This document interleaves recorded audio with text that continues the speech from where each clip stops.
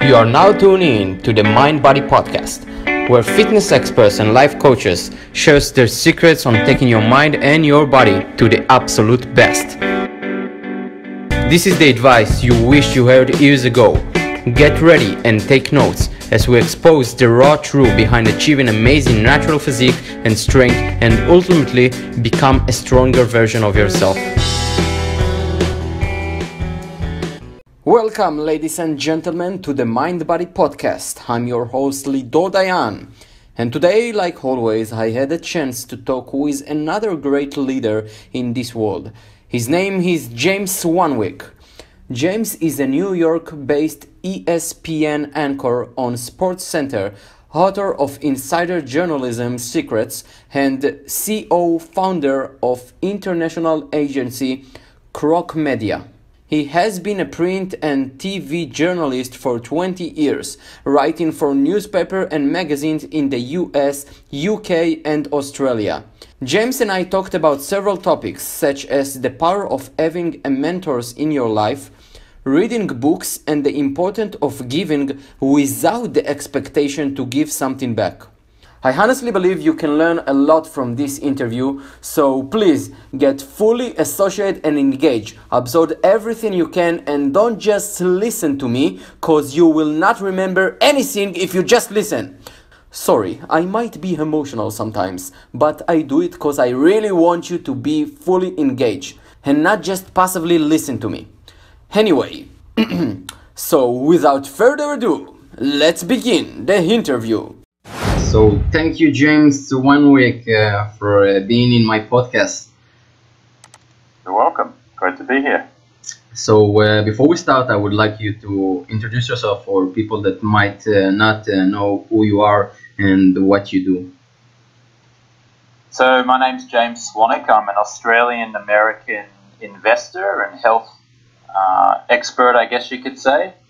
I used to be a newspaper reporter and then I got into the entrepreneurial world and I now help social drinkers quit alcohol for 30 days through my 30 day no alcohol challenge program. And then I also help people sleep better with my, uh, my sleep company, Swanwick Sleep. And if you can see me rather than just listen to me, I'm wearing a pair of blue light blocking glasses um, called Swannies from my sleep company, which helps you sleep better. And we can talk a little bit about that later. But uh, yeah, living over here in New York City at the moment. Um, a proud Australian American and uh, very much into uh, health and uh, health and business. So, what uh, made you start being in uh, health uh, business? Like, well, I was always just a social drinker, so I didn't drink that much alcohol, but I drank enough, sort of in my twenties and thirties, to get to the point where I'd put on a little bit of weight and my skin was dry and I wasn't sleeping very well and I just felt tired and sluggish all the time. And so I ended up running an experiment and I quit alcohol for 30 days and I felt so damn good that I thought, oh, I'll just keep on going. And, you know, I lost about 13 pounds of fat, my skin got better, slept better, my relationships improved. I started lifting weights in the gym and getting fit and healthy and, and that kind of just set me down a path of learning everything I possibly could about health, about fitness. And then when I learned all these things, then I just started teaching people this, everything that I learned. I, I started my podcast, the James Swanwick Show podcast, which is all about health and fitness. And then I created businesses around health and fitness just because I had an interest in it. Do you think we all need like to get into pain moments because most people that actually made breakthrough in their life uh, got into point that they had it, right? Do you think it's crucial in our life to have this kind of moments in order to grow? Uh, it can definitely help. In fact, there's a book called The Happiness Hypothesis by a New York professor called Jonathan Haidt, who says that the most successful people in life many times suffered great trauma at some point in their life. That in order for us to truly learn and in order for us to be truly motivated, we have to either like hit rock bottom or have some kind of traumatic experience or get overweight or have a heartbreak. We have to have that kind of pain and suffering in order for us to, to for that to trigger an emotional response to want to then go and change the situation or learn or get fit or get healthy or quit drinking or learn about relationships. So um, I don't. I, I, do think it's critical. I don't. I, I don't think it's necessary. Like I think you can motivate yourself to change without having to go through trauma, but it can certainly be a great motivating factor. Yes, and uh, if you could take us uh, like three major things from all your interviews or interaction with others that you truly believe uh, had the most uh, long-term impact on your personal and maybe professional life, what would it be?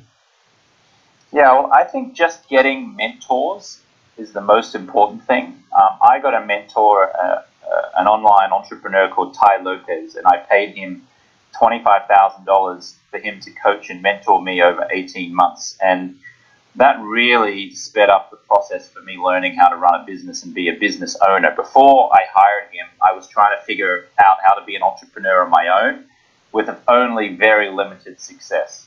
But as soon as I hired a mentor, as soon as I got a mentor, the speed with which I learned how to make money as an entrepreneur increased exponentially. So I would say the number one thing I've learned is, is to get a mentor or get mentors. Second skill that I think I learned um, was the skill to, to read a book a day.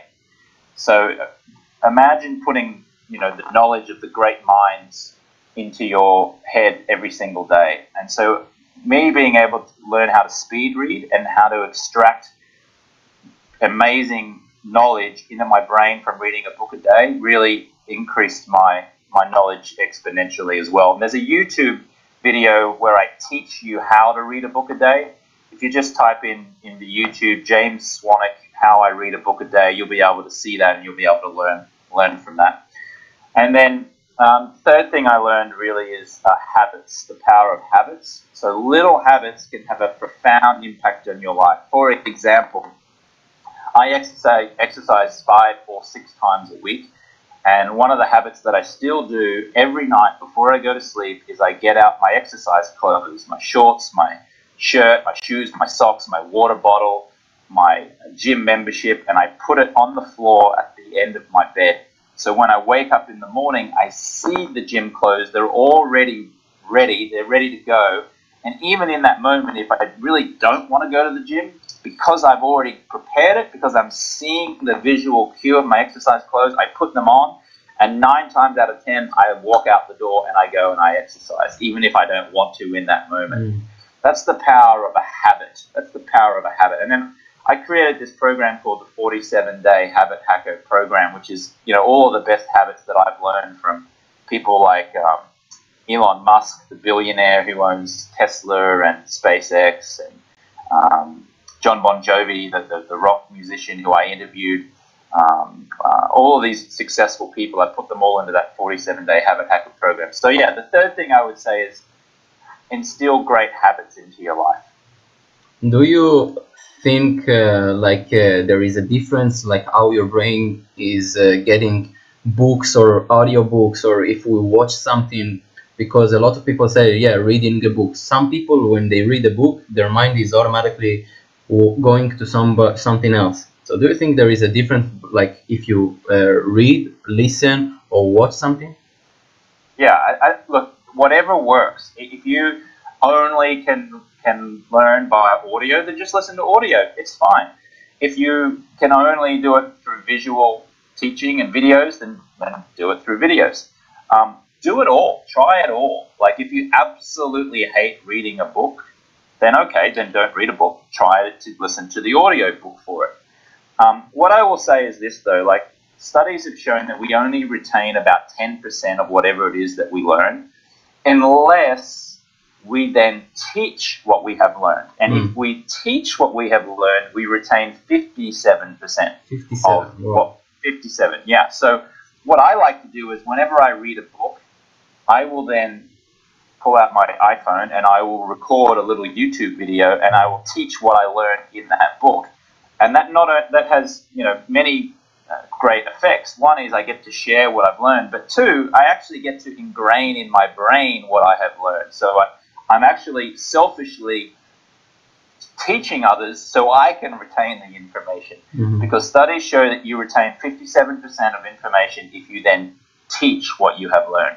Yeah, it's like uh, getting yourself a leverage, right? Because we all need some sort of leverage in order to do stuff. And I think YouTube is a great source for me. Like I'm a YouTuber myself, and I know that when I put stuff online and I tell people that I'm gonna do something, that it automatically makes me do it because then like okay, I put it out there.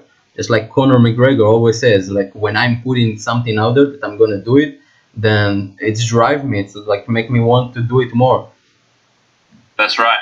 So uh, you said like reading a book a day. Can you uh, tell us a little bit about the process? Like how do you absorb the book? Uh, because many people think like, oh my God, reading a book a day. Well, it, it means like I need to read 200 pages. So how it's like reading a book? Because it's not just read it, right? Yeah, well, I can read a book a day, and I do that by speed reading. So if you go to my YouTube channel, James Swanwick, and type in how I read a book a day, you can you can learn how I do that. But just to give you the short version, I will read the back of the, uh, the back of the book. I'll read the chapters. I'll skim the last page of each chapter because in many cases they'll give you, um, you know, a great summary of what that chapter entailed, and then I will go back to the beginning again, and I'll go through the book from um, and I'll be skimming through, and I'll kind of like, oh yeah, yeah, yeah, yeah.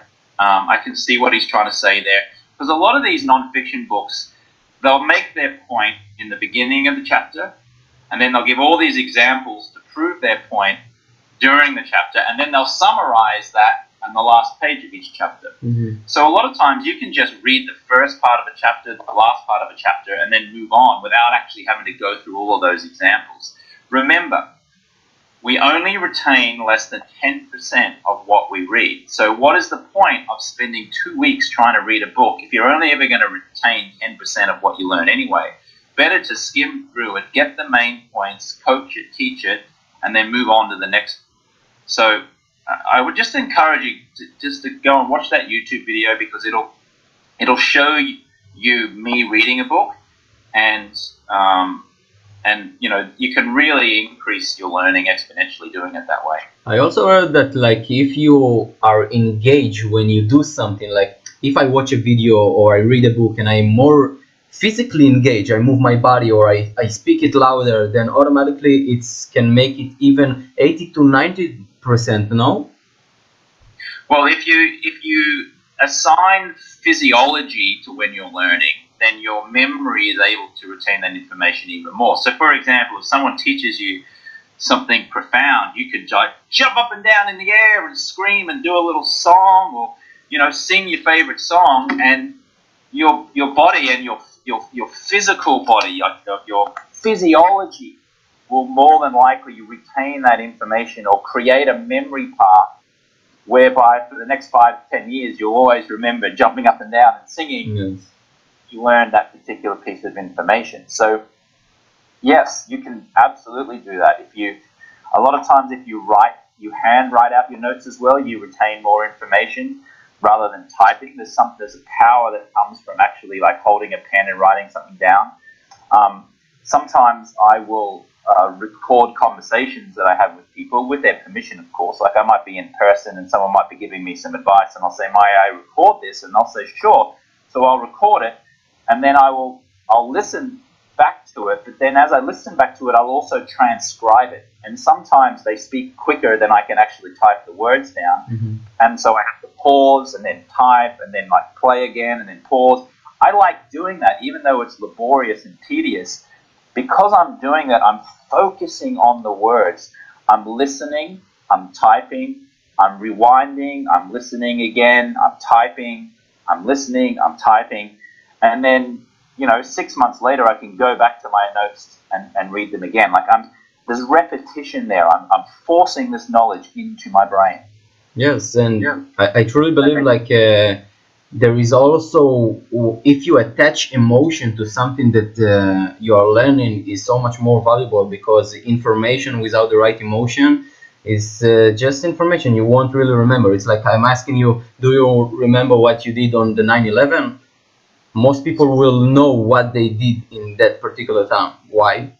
Because there was emotion attached to it. So if we can get to a really emotional state while we're trying to learn something, let's say finance or in investing, if you are not in a place that uh, your money is really important to you, then you will just read something and after like day after you won't really remember but you actually experience like uh, a lot of uh, maybe bad stuff from money then now you're in the right emotion then you will absorb everything absolutely yeah assign a emotion to anything that you're learning and you will retain that information it's a great point i remember where i was september 11 you know mm-hmm. my parents remember where they were when john f kennedy was shot there's emotion around that so you, you, you remember when your girlfriend broke up with you. Mm-hmm. You remember when your boyfriend dumped you, when your wife left you. Like you remember that. So if we can assign the same level of emotion to, to other things in our life, we'll, we'll, our chances for um, remembering that will, will increase. I think uh, the, there is a lot of, uh, you know, anchors. Like if you anchor yourself when you are in the right state and you put something, let's just physically, like I'm clamping my chest or do something like that, so automatically I can trigger myself to feel in a different way.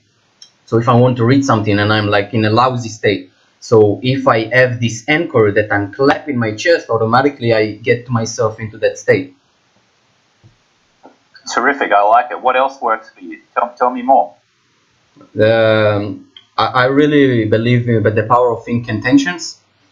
You know, where you say something with enough repetition but you don't just say like yeah i'm happy or i'm strong like you said and you use your body and you really move it and you demand it from yourself. So the more you say it so uh, you actually start to believe that who you are.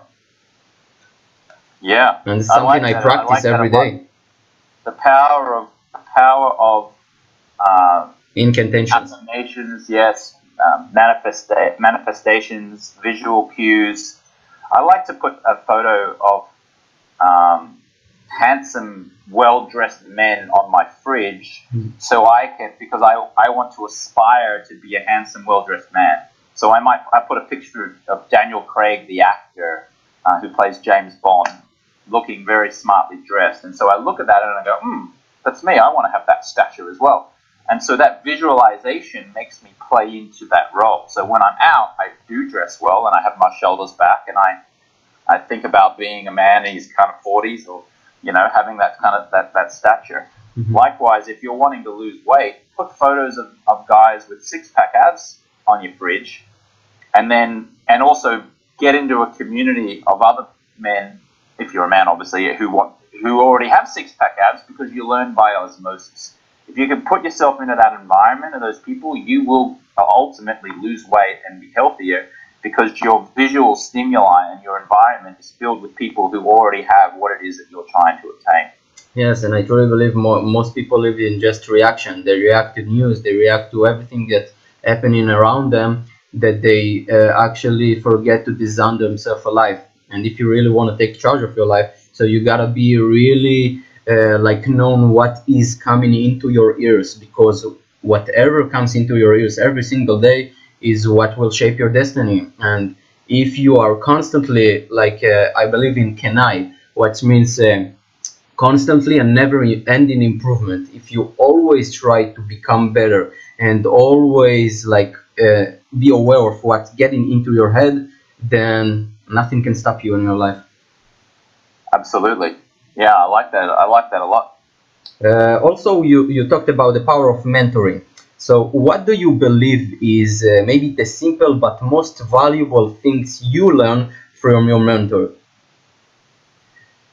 One of the most powerful things I learned from my mentor uh, is to stop procrastinating. To just nothing has to be perfect. You just have to start. So a lot of people will, will procrastinate on making big decisions in their life, like making changes, starting a business, quitting a job, um, saying I love you, divorcing someone. Like people just procrastinate and procrastinate and procrastinate.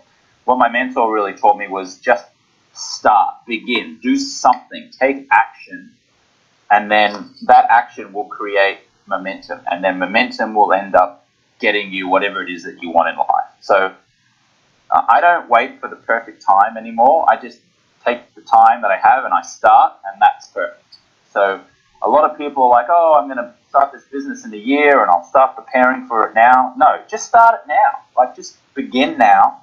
Start getting it out there. Start getting feedback, and and then amend and polish as you go along. So, not being perfect is a, is the perfect way to start. Yeah, a lot of people I think thinks uh, that they are trying to change a behavior they have, but uh, it's something I learned from Tony Robbins. He said like if you're trying to uh, like change a behavior but your your identity of who you are is not changing then eventually you are going to sabotage yourself again and go back to that behavior. Because uh, if let's say you are procrastinating and you truly believe in your identity that you are a procrastinator then you will get back to being a procrastinator. And most of us just ju- like try to avoid what the signal behind that procrastination because we don't just procrastinate. We it, it's a signal that uh, uh, our brain is trying to give us. So because like most of us when we're trying to build a business, right? So we have a lot of hours in the computer, a lot of hours we, we feel alone. And when we procrastinate, I believe it's a signal that uh, we have that need of connection, connection and love. Mm, yeah, I like that a lot. I like that. You, you sounds like you've studied a lot of what Tony Robbins. Oh my says. God, a lot. Every day I hear him for hours and hours. Like he's constantly like in my brain every day. Yeah, I've gone and seen Tony Robbins speak three times at uh, Unleash the Power Within. He's terrific. And in fact, uh, a, a, friend, uh, sorry, someone that Tony Robbins mentored, a guy called Eli Wheelhide, is one of my very good friends. And so whenever I uh, meet up with Eli, it's almost like I'm having a mini Tony Robbins really? with me because everything he talks is just kind of like like Tony Robbins. What what's been like one or two main things that you've got from Tony Robbins that's changed your life? I believe uh, the power of questions because uh, what we ask ourselves every single day, consciously or unconsciously, is eventually uh, direct our, our destiny. If I always ask myself, like why all of this happened to me or why my life isn't working the way I want them to work. So your brain is like a computer because you did this, this, and this. But if I like consciously demand for myself to ask question like, how can I get this better? What didn't I do yet that uh, if I do right now can improve my life? So if I always ask myself better quality questions, eventually it will get my brain to to seek for an answer, the right answer. Yes, yes, I like that a lot. That's great. Uh, another question I have for you, uh, for a beginner that uh, building his brand, how, how valuable is collaborating with influencer, and what do you believe you did different that made uh, that made very well known people to want to interact and help you grow? So there are two groups of people in the world. There's you, and then there's everybody else. And without everybody else, you're going to be a very lonely person in the world. So all of my success has been attributed to a combination of me and people who have been able to help me. And so when I go into any new relationship, whether it's a platonic relationship, a social, a business, a romantic, I'm always thinking, how can I help this person? How can I give value to this person? Instead of what most people do, and what I was actually guilty of, of doing back in the day, was thinking, how can this person help me? Instinctively, that's what we do, right? Like we, we kind of yes. like we're out for ourselves. We, we want help. We, we kind of we need help, and so we're like, how can this person help me? Well, if you can change that and just think, how can I help this person, and then do anything you can to help that person, those people in time will end up being the people who help you grow your business, who help you get fit and healthy, who introduce you to your future wife or girlfriend or husband or boyfriend, who support you, who encourage you. But they're only going to do that if you help them first. And so what I like to do is I like to just, you know, whenever I meet someone new, I'm like, how can I give this person value? I'm going to help them. And I do that. And then it's just, and I never ask for anything in return. I don't ask for anything. Uh, I don't expect it. But guess what? I end up getting lots in return because the rule of reciprocity kicks in, and human beings always want to help people who help them. Um, and it just creates great it creates goodwill. And then so you create this life of people like helping one another, giving value, receiving value, and then you can do joint venture deals and build businesses together. You can create great social relationships. So always go into a relationship thinking, how can I help this person rather than thinking, how can this person help me? And still, if you are still trying to give them value, but some people like, if, if I try to give you value and I try to help you, how can I do it in a way that you don't think like, wh why do you think I need help from you? So don't ask for anything in return. I mean, people email me all the time because they know how to do this now because I've been speaking about it on my podcast, mm-hmm. James Swanwick Show. They send me, uh, they send me articles or help or introductions, and at the end they say no need to reply. So they don't ask for anything in return. They're just like giving to me, no need to reply. And I'm like, cool, thank you. And I remember that. And then later on, sometimes might, might be days, weeks, months, could be years. I'll always remember that.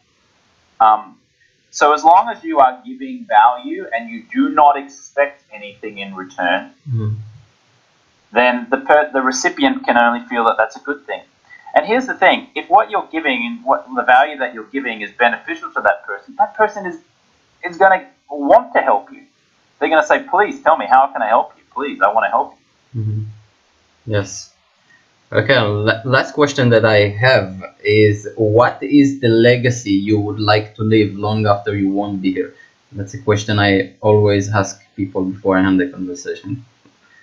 Well, selfishly, my legacy, I want to make sure that my offspring, that my children will go on and that they'll be healthy and that they'll be able to survive and that the people who I love most in the world, my bloodline, uh, are taken care of. So um, that's first and foremost. Um, after that, I would like to have uh, inspired a million people to have taken a 30 day no alcohol challenge. Um, and I would have liked to have inspired 1 million people to have slept better because of the coaching and the education that I've put out into the world. So, my legacy, I guess, is to take care of my immediate family, and friends first, and then uh, the general masses of people um, second. Great. And where can we find you? Yeah, if you go to jamesswanwick.com, and I'll spell Swanwick because the spelling's a little unusual. It's J A M E S S W A N W I C K. So it's spelled Swanwick, even though the second W is silent, it's pronounced Swanick. Um, and if you want to learn about the 30 day no alcohol challenge, you can go to 30daynoalcoholchallenge.com. Or if you have trouble with your sleep and you want to learn some sleep techniques, go to swanwicksleep.com. And then I'm also on Snapchat and Instagram and at James Swanwick. That's amazing, James. Uh, I really want to thank you very much for your time and uh, keep up the amazing work you do for others. It's really amazing, uh, like, uh, you know, taking people and take them out from uh, drinking alcohol. So this is really, really valuable. So thank you. You're so welcome. Thanks for having me on the show. If you enjoyed this interview or any other one from the Mind Body podcast, feel free to subscribe to my podcast at iTunes, SoundCloud, and at my YouTube channel. Also, feel free to share or leave a message at the comments below because your opinion is really important to me. Just like I always say, Leaders create leaders, and we all here to grow together. For more information about fat loss, gaining muscle, and taking your mind to a whole new level, check my site at www.lidodayan.com. Till then, never, ever forget to smile. See you soon.